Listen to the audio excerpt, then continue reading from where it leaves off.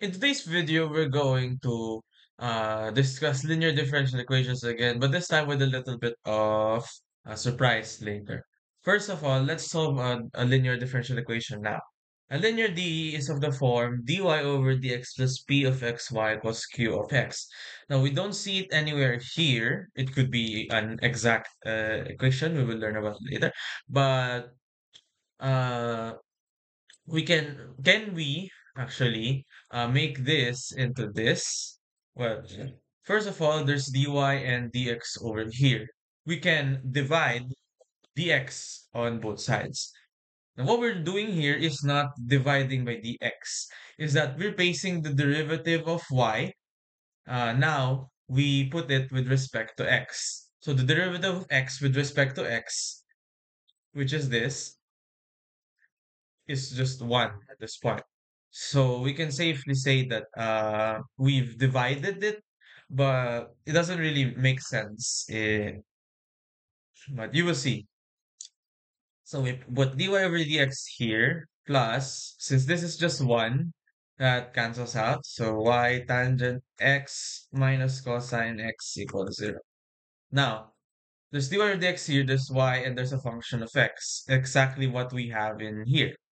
So with that, we can use the DE, uh, linear DE uh, special integrating factor here. But there's still this cosine x here, not to worry. We can transpose it on the other side, and we will get dy over dx plus y tangent x equals second, uh, sorry, cosine x.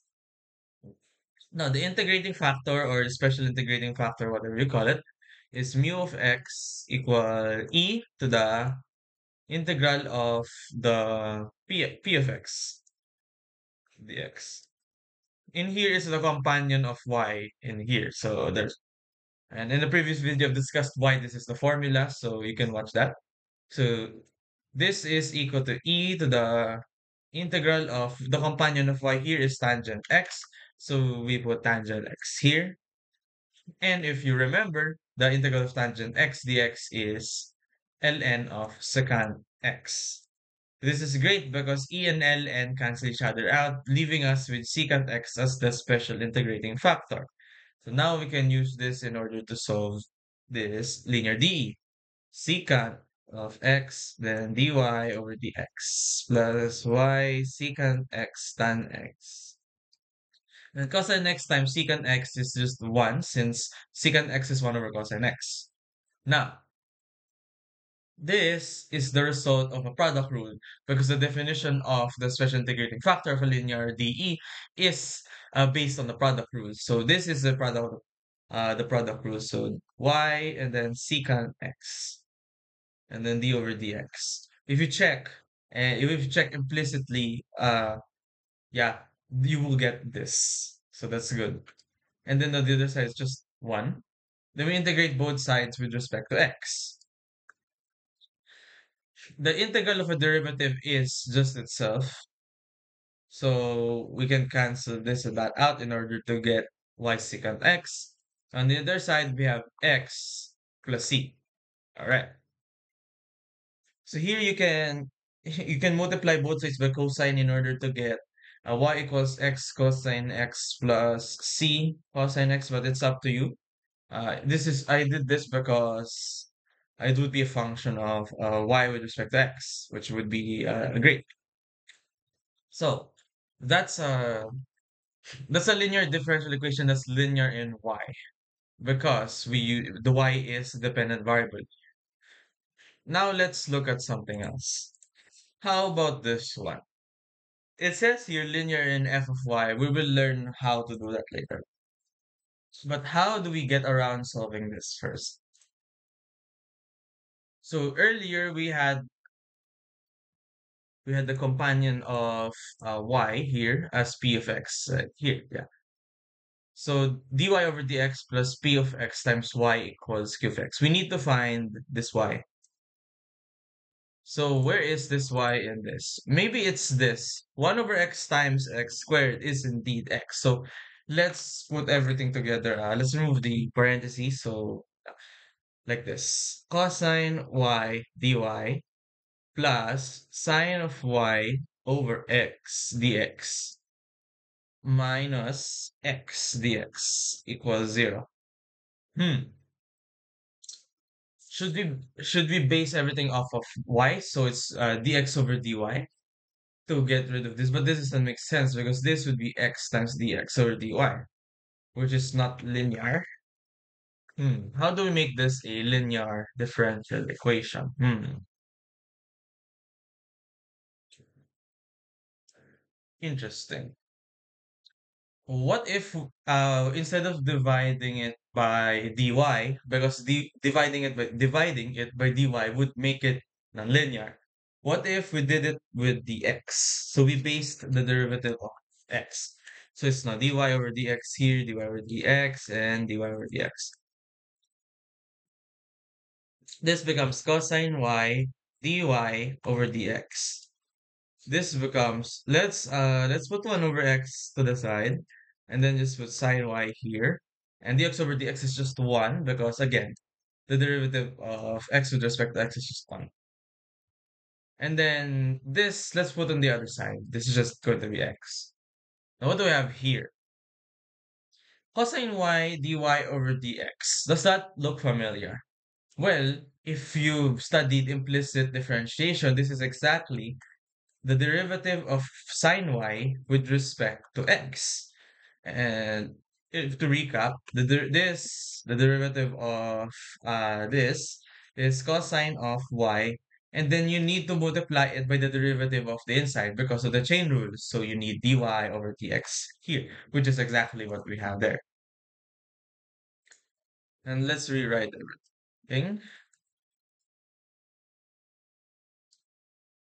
Let's put uh, the sine y up like this. This is actually what's happening when we do when we do this notation. This is actually what's happening.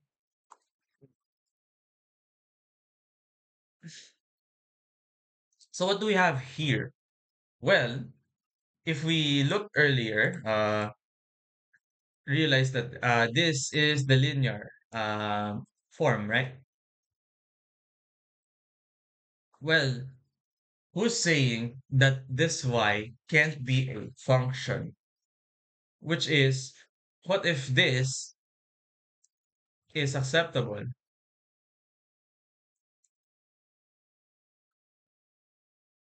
What if this entire thing is linear in sine of y? Would that be invalid? Would that be illegal? Well, let's see. Oh, if if this is indeed sine of uh, uh, uh linear in sine of y, we have we have to find mu of well the x is still the independent variable, so we have to find mu of x. That's going to be e to the what is the companion of sine of y? It's one over x. So one over x dx. This is e to the ln x and e and ln cancel out. We get x. Let's multiply x on the up. So x d sine y over dx plus, well, x times 1 over x is just 1. So that leaves us with sine y equals x. And because of the product rule, we know that this indeed equals x times uh, sine y and then the derivative of that. Now, if you check, this is this is indeed how it's formed. So x times the derivative of sine y, which is d sine y over dx, plus uh, derivative of x is just 1 times sine y sine y. And let's put x on the other side. Well, that'd be correct.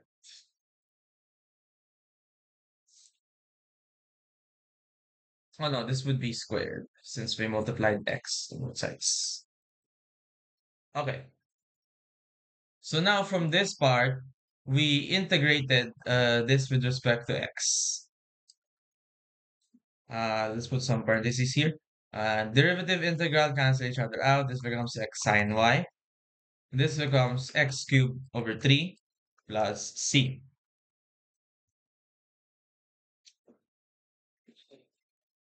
So from here, we can multiply both sides by 3 in order to get 3x sine y equals x cubed plus c remains a constant, so we can still put c in here. And that's the answer. So it is possible to find a linear in f of y instead of just linear in y. And if you're wondering if this is valid, you can check it using the non-exact method, which will be discussed uh, in a later video. But this is indeed valid. There's nothing stopping us from doing this. So what about this one? E to the y times sine of y plus cosine y dy plus e to the y sine y minus x x equals 0. Now this sets off some alarms. This specifically. e to the y sine of y plus cosine of y sounds like the derivative of e to the y sine y. What's the derivative of this? Well, first of all, let's put my method here. Then cross So e to the y derivative is e to the y. Sine of y derivative is cosine, cosine y. So we get e to the y cosine y plus e to the y sine y and then dy over dx. This is also e to the y sine y plus cosine y dy over dx. So we have a confirmation that this is indeed the derivative of e to the y sine y. So let's base base the entire d of, uh, x since there's dy and dx here. So let's divide by x. We're not actually dividing. So e to the y, then sine y plus cosine y, and then dy over dx. And since dx over dx is just 1, we can remove the dx right there. Plus e to the y sine y minus x equals 0. Now, we all know this is d over dx of e to the y sine y plus e to the y sine y. Let's put the x on the other side, like that. So now, the, uh, this is a linear, is a linear d in e to the y sine y. So x is still the uh, the independent variable, so we find the special integrating factor with respect to x, which is e to the power of, what's the partner of e to the y sine y? is just going to be 1, so we'll put the x here, and our SIF is e to the x. Multiply e to the x on both sides, we get e to the x times d over, so d e to the y sine y over dx plus e to the x e to the y sine y, which makes it equal to x e to the x. This is guaranteed to be product rule situation. So we get e to the x times e to the y sine y. And then we put the derivative sign in here to indicate that this is indeed the derivative equals x e to the x. We integrate both sides with respect to x, which honestly is the hardest part of a differential equation. So we uh, cancel, cancel this out. So we get e to the x times e to the y sine y. We can combine the exponents like that. And this we can use integration by parts. I'll just use the DI method to get x, e to the x. So one layer down, one zero stop. And then e to the x here, e to the x here, and then uh, diagonals, x e to the x minus e to the x, which is x minus 1 e to the x. So you get x minus 1 times e to the x plus c. That's going to be your final answer. You can uh, you can simplify this further if you want. e to the y sine y may be equal to like x minus 1 plus c e to the negative x. But honestly, this quest this answer is good enough. And that's going to be it for this video. I hope I hope it's a bit different from uh, the normal linear. I found it interesting when I found it uh, earlier this evening. So I'll see you in the next video.